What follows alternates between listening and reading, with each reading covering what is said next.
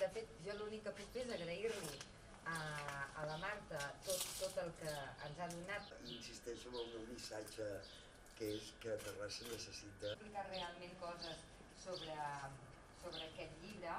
De... eh, espectacular. Jo, des de que està reformada, que per cert, excepte en, en, intervingut massa, i en honor a ser batejada a Sant Miquel, m'alegra molt que vaig néixer. que, que m'agradaria fer és un joc que és un, un oracle. He tingut el pensament a la fe que tens tan sincera, com ho era la de l'àvia Lois. No donaven el curs a la vida com ella volia. Pensava que amb mi potser es rescabalaria.